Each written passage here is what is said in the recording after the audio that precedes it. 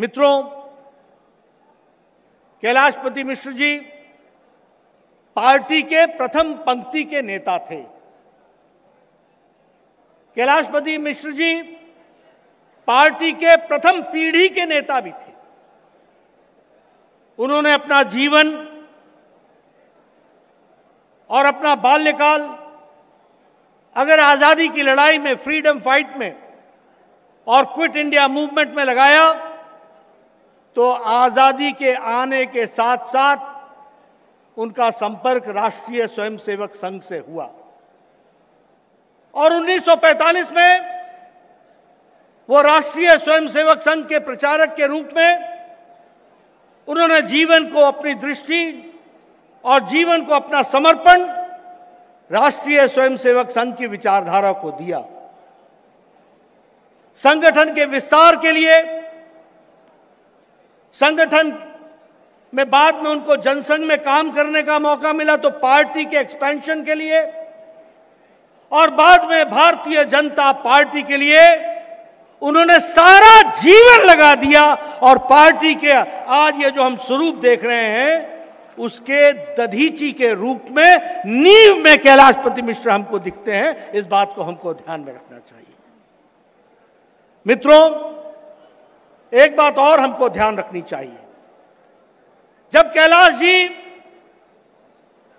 राजनीतिक क्षेत्र में काम कर रहे थे तो उस समय खोने को सब कुछ था, पाने को कुछ नहीं था। यह आज का माहौल नहीं था कि हम सोच सके कि कभी हम एमएलए बन जाएँगे, कभी हम एमपी बन जाएँगे, कभी हमारी सरकार आएगी। वो समय ऐसा था जब पाना तो दूर खोने के लिए तैयार रहना पड़ता था, ऐसी परिस्थिति थी। और ऐसे परिस्थिति में कैलाश जी ने अपना सारा जीवन लगाया और पार्टी को इस विराट वृक्ष के रूप में उन्होंने हम सब लोगों को अपने जीवन में लगा करके हम सबको दिया है। मैं यहाँ यह भी कहना चाहूँगा कि वो पार्टी के बिहार के भीष्म पितामह थे। उन्होंने अपने आप को समर्पण करके सैक्रिफाइस करके, ये छोटी घटना नहीं है। जब राज्यसभा के लिए उनका नाम तय हुआ तो उन्होंने बड़े सहर्ष कहा, मुझे संगठन में रहने दीजिए और हमको दलितों में काम को आगे बढ़ाना है। कामेश्वर पासवान को राज्यसभा में भेजिए। इस तरह की बात उन्होंने कही थी। आप याद कीजिए, यह वातावरण हमारी पार्टी में ही हो सकता है, किसी और पार्टी में नहीं हो सकता। और इस तरीके के उदाहरण कैलाशपति मिश्र ही दे सकते हैं। इसलिए उनसे हमको प्रेरणा लेना और प्रेरणा के साथ हम अपने काम को ताकत दें, इसकी आवश्यकता होती है। मैंने शायद पिछली बार भी बताया था, लेकिन मैं दोहराना चाहूँगा। मेरी उम्र 11 साल 12 साल की होगी 1971 का चुनाव था। जहाँ तक मुझे याद पड़ता है कि वह पटना लोकसभा की सीट का चुनाव उन्होंने 1971 में लड़ा था। और उनका अक्सर हमारे घर आना जाना होता था। वो जनसंघ की टोपी पहन करके दिए का निशान था। वो हमारे घर आए। मैं छोटा था, कौतूहल वर्ष ने पूछा कि कैसा चल रहा है, क्या चल रहा है? उन्होंने कहा, हम चुनाव जीतेंगे, जनसंघ आगे बढ़ेगा। मैंने जो पड़ोस में सुना था, और वो बच्चे ही थे हमारे साथी, वो भी पड़ोस में जो सुनते हैं तो मैंने उनसे कहा कि हमारी स्थिति अच्छी तो होगी, लेकिन शायद जीतना संभव नहीं होगा। उस समय मुझे याद है कैलाश जी ने कहा था, हम विचारधारा के लिए लड़ते हैं और विचारधारा के लिए हम समर्पित रहते हैं। यह तो पड़ाव है, पूर्ण विराम नहीं है, आगे और बढ़ेंगे और हम जीवन में सफल होंगे। मैंने उनसे एक और प्रश्न पूछा था, कि आप सभी सीटों पर क्यों लड़ रहे हो? क्योंकि उस समय जब विधानसभा का चुनाव आया था तो सभी सीटों पर चुनाव हुआ था।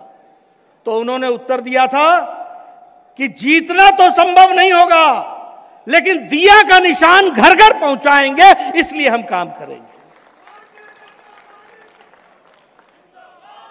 मैं आपको ये सारी बातें इसलिए कह रहा हूँ क्योंकि आज जब हम बापू सभागार में इतनी बड़ी संख्या में दुनिया की सबसे बड़ी राजनीतिक दल के रूप में बैठे हैं तो हमें याद रखना चाहिए कि किन महानुभावों ने अपना जीवन लगा दिया जिसके कारण आज हम यहाँ पर आकर के खड़े हैं।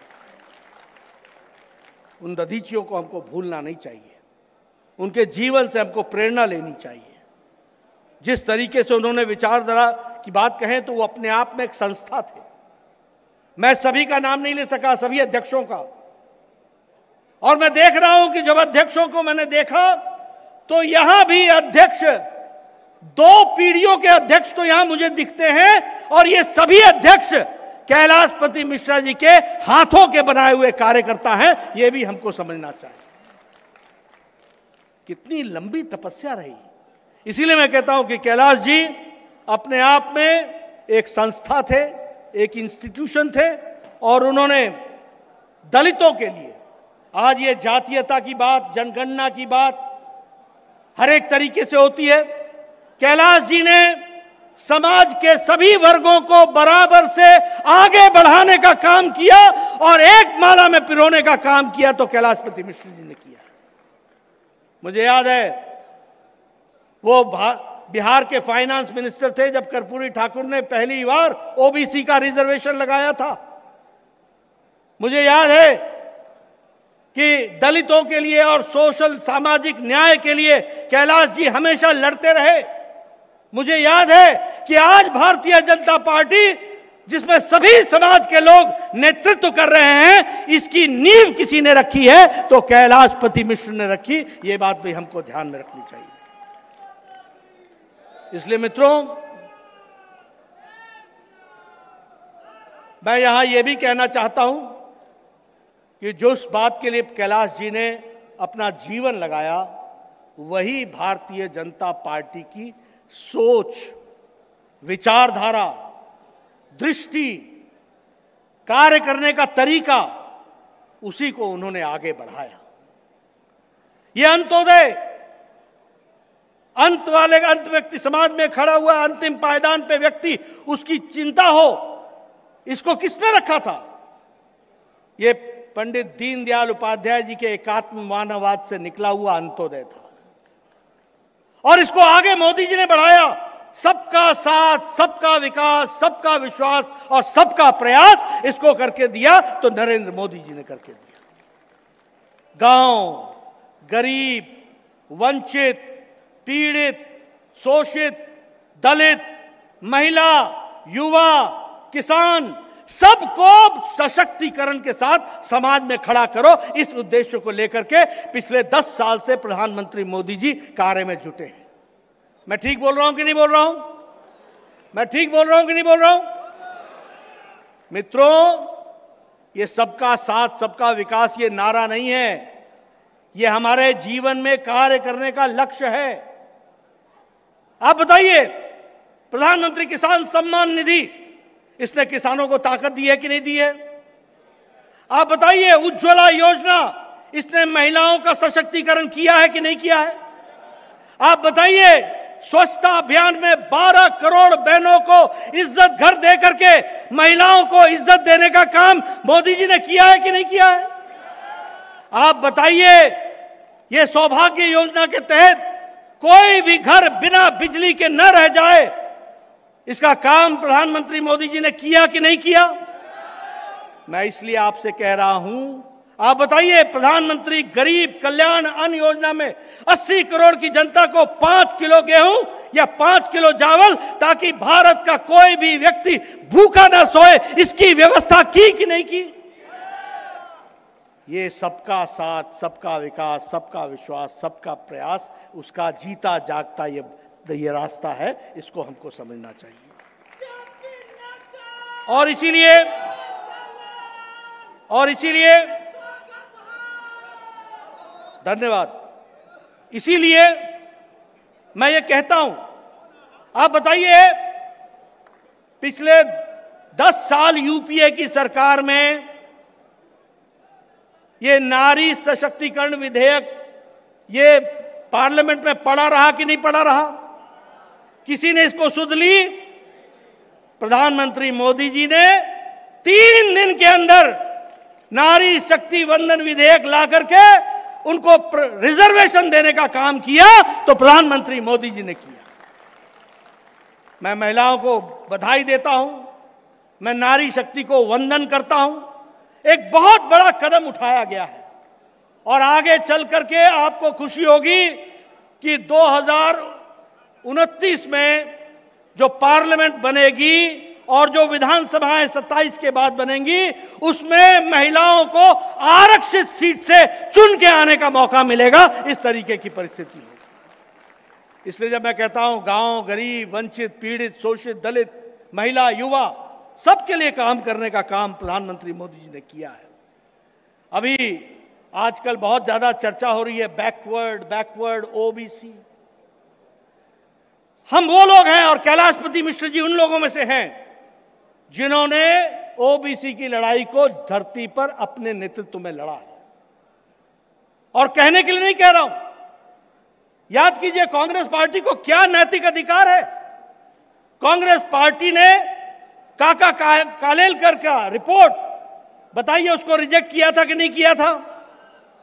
उसके बाद मुरारजी देसाई ने मंडल कमीशन लगाया मंडल कमीशन की रिपोर्ट आई इंदिरा गांधी और राजीव गांधी दोनों रिपोर्ट पर बैठे रहे कि नहीं बैठे रहे?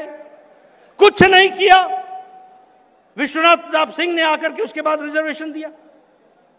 और आपको जानकर के आश्चर्य होगा कि उन्नीस सौ बानवे के बाद 1992 में जब सुप्रीम कोर्ट ने कहा कि ओबीसी को केंद्रीय सर्विस में नौकरी मिलने, रिजर्वेशन होना चाहिए, तब जाकर के रिजर्वेशन 1995-96 में हुआ। और ये लोग आजकल ओबीसी के चैंपियन बने हुए हैं। आप बताइए ओबीसी कमीशन को संवैधानिक दर्जा देने का काम नरेंद्र मोदी जी की सरकार ने किया कि नहीं किया? क्यों कांग्रेस पार्टी, क्यों यूपीए? जिसमें लालू भी थे, जिसमें बाकी लोग भी थे, क्यों उन्होंने ओबीसी को संवैधानिक दर्जा नहीं दिया? आज ओबीसी की बात करते हैं।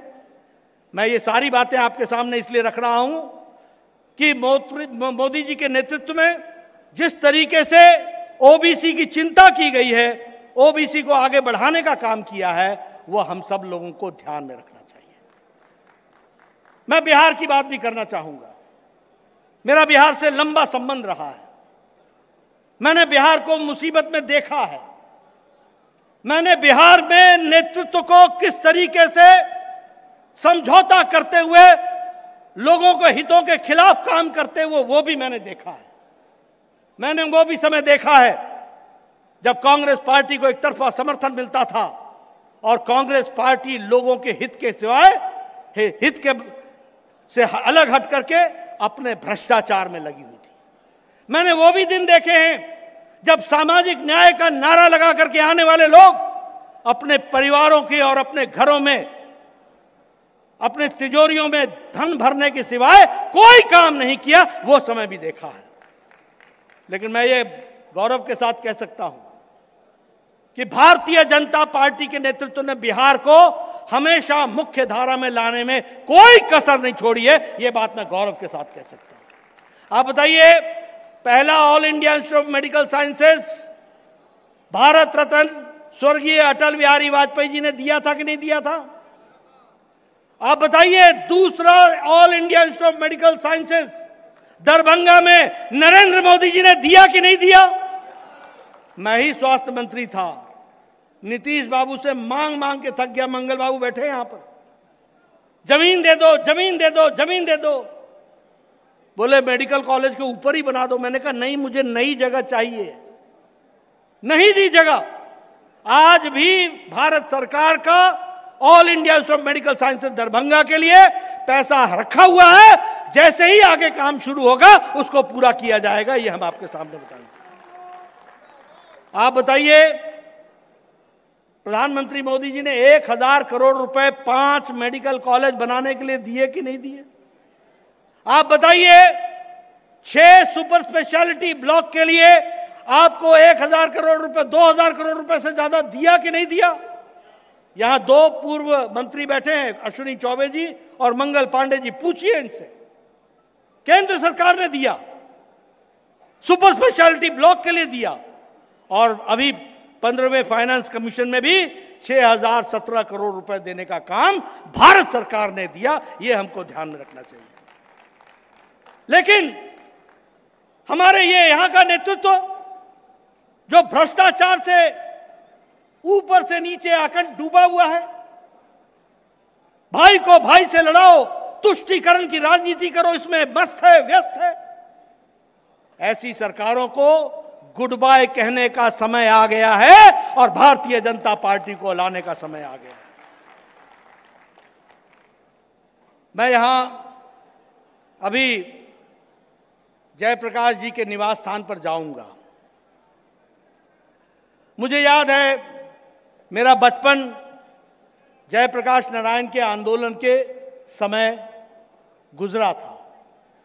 मुझे याद है कदम कुआँ में मैं जयप्रकाश नारायण के घरों, घर के आसपास कभी न कभी, किसी न किसी बहाने आया करता था। सुशील मोदी जी, रविशंकर जी, राजेंद्र गुप्ता जी, अश्विनी चौबे जी, ये सब लोग उन दिनों जयप्रकाश नारायण जी के सानिध्य में आंदोलन को आगे बढ़ाने का काम कर रहे थे। मुझे याद है कि उसी समय लालू और नीतीश जी भी कदम कुआँ के चक्कर लगाया करते थे। आज मैं सोचता हूँ, क्या से क्या हो गया? कहाँ से चले थे और कहाँ पहुँच गए? स्वर्गीय जयप्रकाश नारायण इंदिरा गांधी जी के विरोधी थे। ये लालू जी ने अपनी बेटी का नाम मीसा, ये maintenance of internal security act में वो बंद थे, तब रखा था। जिन्होंने अपनी जवानी विचारधारा के लिए लड़ने के लिए तय किया था, वो समझौते में आकर के आजकल उसी इंदिरा परिवार की चौथी पीढ़ी के साथ गलबाइयाँ कर रहे हैं और उनका स्वागत कर रहे हैं। ये भी मुझे देखने का मौका मिलता है मैं सोचता हूँ, राजनीति भी कैसी चीज़ है, कुर्सी भी कैसी चीज़ है, समझौता करते करते कहाँ पहुँच गए? यही पटना की धरती पर तुम सोनिया और राहुल को स्वागत करने के लिए खड़े हो गए। यही विचारधारा की लड़ाई थी। इसीलिए तुमने अपनी जवानी दी थी। इसीलिए तुम maintenance of internal security act में गए थे। लेकिन सत्ता और सत्ता के साथ साथ सत्ता सुख, इसके साथ समझौता करने वाले ये लोग, इनकी राजनीतिक विचारधारा कहाँ से चली और कहाँ पहुँच गई? कहाँ से संपूर्ण क्रांति और कहाँ से सामाजिक न्याय से निकल कर ये कहाँ पहुँच गए, यह भी हम सब लोगों ने देखा है। मैं यहाँ यह भी कहना चाहूँगा, आजकल ये इंडी अलायंस की बात हो रही है। आप जानते हैं ना इंडी अलायंस? जानते हैं? ये जो इंडी अलायंस है, ये तीन आधार पर खड़ा है। पहला, परिवारवाद। दूसरा, भ्रष्टाचार। और तीसरा तुष्टीकरण। आप देखिए, मैं आपके सामने भारत का नक्शा खींच के बताना चाहता हूँ। जम्मू कश्मीर, कौन है? फरूक अब्दुल्ला, उमर अब्दुल्ला, बाप, बेटा। पीडीपी कौन है? पहले मुफ्ती मोहम्मद, बाद में महबूबा मुफ्ती। आप नीचे आइए। आप देखेंगे, शिरोमणि अकाली दल, प्रकाश सिंह बादल और सुखबीर बादल, बाप बेटा। आप उससे नीचे आइए। उत्तर प्रदेश 24 करोड़ का प्रदेश है। सबसे बड़ा प्रदेश है। भारतीय जनता पार्टी किससे लड़ रही है? समाजवादी पार्टी से मुलायम सिंह, अखिलेश और डिम्पल फुल स्टॉप बस परिवार। मैं यहाँ खड़ा हूँ। बिहार में कौन है सामने? लालू, तेजस्वी, मीसा, बाकी छुट्टी। ये बंगाल में किससे लड़ रहा हूँ? पीसी, भाईपो। पीसी मतलब बुआ। बुआ मतलब ममता। और भाईपो मतलब भतीजा। भतीजा कौन है? अभिषेक। कौन ये परिवार से लड़ रहे हैं? बाकी सबकी छुट्टी। ये परिवारवाद, तुम हमारे परिवार को बचाओ, हम तुम्हारे परिवार को बचाएँगे। हम तेलंगाना में किससे लड़ रहे हैं? KCR, KTR, Kavitha. बाप, बेटा, दामाद, बेटी। हम तमिलनाडु में किससे लड़ रहे हैं? स्टालिन। पहले करुणानिधि फिर स्टालिन फिर उदयनिधि स्टालिन। हम महाराष्ट्र में किससे लड़ रहे हैं? शिवसेना। उद्धव ठाकरे आद, आदित्य ठाकरे। ये सब परिवार की पार्टियाँ हैं। और कांग्रेस में भी कौन है? Sonia Rahul Priyanka full stop. ये सब परिवार की पार्टियाँ हैं। और मैं यहाँ दोबारा दोहराना चाहता हूँ मेरे बातों का बहुत बुरा लगा था विपक्षी दलों को। मैं दोबारा बोलना चाहता हूँ, ये पहले ये बनती हैं क्षेत्रीय पार्टियाँ रीजनल पार्टी और रीजनल पार्टी के बाद बनती हैं ये पारिवारिक पार्टी और भारत की प्रजातंत्र परिवारवाद को कभी भी परिचय नहीं देगा, विचारधारा को परिचय देगा, इसलिए परिवारवाद पार्टियों का समाप्त होना निश्चित है यह आप मान करके चलिए। मैं भ्रष्टाचार की बात करूँगा। कांग्रेस पार्टी अकेली 12 लाख करोड़ रुपए का चूना लगाने वाली यूपीए की सरकार कांग्रेस पार्टी भ्रष्टाचार पे भ्रष्टाचार। मुलायम सिंह की party Akhilesh, laptop scam food grain scam Gomti river front scam Lalu Tejashwi, ये तो माँ पिता, बेटा और माता ये तीनों ही तो कल बेल करा करके आए हैं ना। कल ही तो करा के आए हैं। चारा घोटाला। ये सब भ्रष्टाचार से जुड़े हुए लोग हैं। दूसरा इनका आधार भ्रष्टाचार है। उसी तरीके से अगर हम बात करें स्टैलिन की तो एक लाख चौंतीस हज़ार करोड़ रुपए इनके ऊपर, इनके इनके प्रॉपर्टीज़ है। आप बताइए, ये एक साथ ये इंडिया अलायंस और क्या करेगा? परिवार की को सेवा करेगा? और परिवार के साथ साथ भ्रष्टाचार का पोषण करेगा और भ्रष्टाचारियों को बचाने का काम करेगा। यही इंडिया अलायंस का नतीजा है। अगर मैं दिल्ली की आम आदमी पार्टी की बात करूँ तो कल ही दूसरा विकेट भी गिर गया। वहाँ संजय सिंह शराब घोटाले में अंदर हो गए। ये सब भ्रष्टाचार में ऊपर से नीचे आकंठ डूबे हुए लोग हैं। और इसीलिए मैं यहाँ पर कहना चाहूँगा कि अगर हम विकास के दृष्टि से देखें तो सिर्फ़ भारतीय जनता पार्टी है जो समाज में विकास को आगे बढ़ाते हुए देश को आगे ले जाने का काम कर रही है। मैं यहाँ एक बात की और आपसे चर्चा करना चाहूँगा और बताना चाहूँगा कि जहाँ तक ओबीसी का सवाल है, जो मैंने पहले कहा, चाहे शिक्षा में सेंट्रल स्कूल हो एमबीबीएस हो एमडी की सीटें हो इसमें कुल मिलाकर के चार लाख बच्चों को ओबीसी को एडमिशन देने का काम किया तो नरेंद्र मोदी जी की सरकार ने किया ये हमको ध्यान रखना आज हमारे 27 ओबीसी मंत्री हैं। आज हमारे पचासी ओबीसी एमपीज हैं। जितना कांग्रेस पार्टी के एमपी नहीं है, उससे ज़्यादा हमारे ओबीसी के एमपी हैं। सामाजिक न्याय लाने का काम तो भारतीय जनता पार्टी ने किया है। एक हज़ार तीन सौ अट्ठावन एमएलए में सत्ताईस प्रतिशत एमएलए ओबीसी के हैं। और उसी तरीके से एक सौ तिरसठ एमएलए में एमएलसी में 40 प्रतिशत हमारे एमएलसी ओबीसी के हैं। ये हमको ध्यान में रखना चाहिए। और ये जितनी भी स्कीमें हैं जनधन योजना, उजाला योजना, उज्ज्वला योजना, ये सब, सबसे ज़्यादा लाभ ओबीसी को हो रहा है। इसलिए मैं यहाँ एक बात बड़े स्पष्ट शब्दों में कह देना चाहता हूँ कि भारत की गरीबी सबसे बड़ी जाति है, जो हमारे प्रधानमंत्री जी ने कहा है। और गरीब की सेवा करने का काम पिछले पाँच साल में प्रधानमंत्री मोदी जी ने 12 करोड़ से ज़्यादा गरीब लोगों को गरीबी रेखा से निकाल करके उनको मिडिल इनकम ग्रुप में पहुँचा दिया। और ये हम नहीं कह रहे हैं, ये इंटरनेशनल मॉनिटरी फंड बोल रहा है। लगभग 12 प्रतिशत लोग आज गरीबी की रेखा से ऊपर उठ चुके हैं। और एक प्रतिशत लोग लेस देन वन परसेंट एक परसेंट भी नहीं लेस देन वन परसेंट लोग अति गरीबी से निकल चुके हैं, सिर्फ़ लेस देन वन परसेंट हमारे अति गरीब रह गए हैं। ये जो गरीब के, की सेवा चल रही है यही सबसे बड़ी जाति है। इसी को संभाल करके आगे बढ़ाना है और मजबूती प्रदान करना है।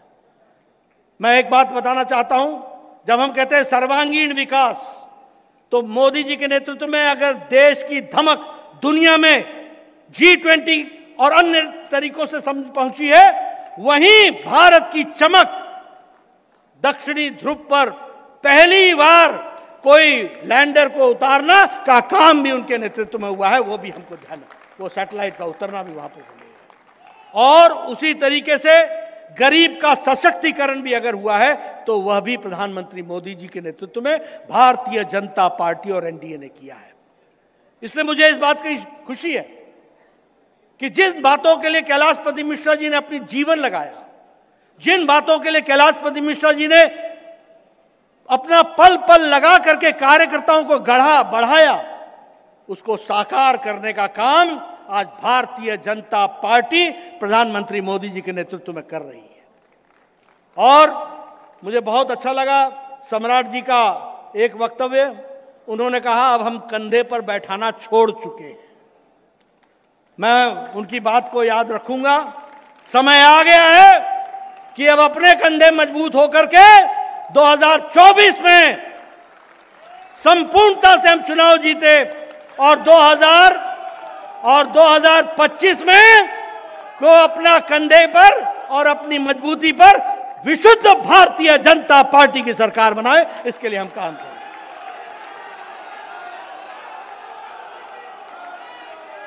मित्रों मित्रों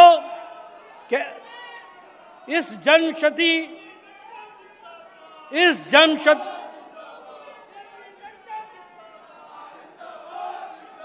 इस जन्म शताब्दी के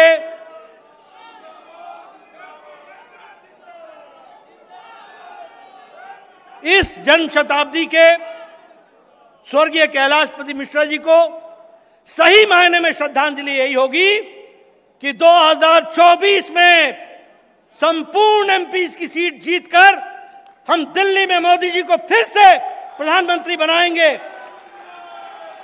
और कैलाशपति मिश्र जी को सच्ची श्रद्धांजलि वही होगी कि 2025 में भारतीय जनता पार्टी का कमल खिलेगा और हमारी सरकार बनेगी। बोलिए, करेंगे ना? करेंगे ना? करेंगे ना? करेंगे ना? आपने मेरी बात सुनी, आपका बहुत बहुत धन्यवाद। बोलिए, भारत माता की। भारत माता की। भारत माता की। स्वर्गीय कैलाशपति मिश्र अमर रहे।